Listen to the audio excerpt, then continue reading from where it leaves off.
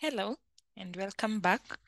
So previously we were able to design samples in ArcGIS Pro and we created a fishnet that was samples Kiambu. And that is what we are going to use right now to be able to establish values that fall under land use land cover in the same Kiambu region.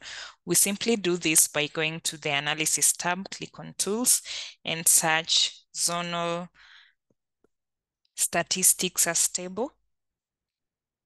So zonal statistics, we go to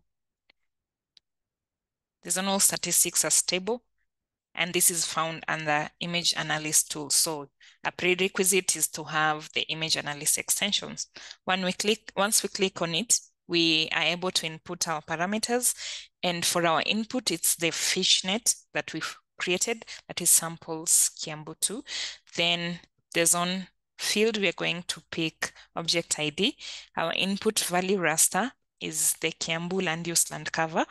Then for an for our, our output table, we're going to call it zonal statistics Kiambu County leave everything as default and run the tool.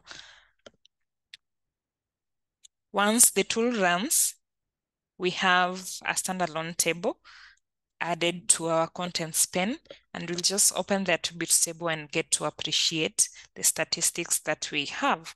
So we have the object ID, we have the count and the area, and we can see the classes that we have for our land use, land cover, and even as they are occurring within these grids that we created. So that is the output. Thanks for watching.